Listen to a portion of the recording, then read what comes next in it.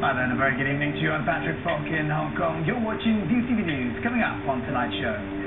North Korea seeking equilibrium with the US after Donald Trump warns military response to nuclear threats is an option.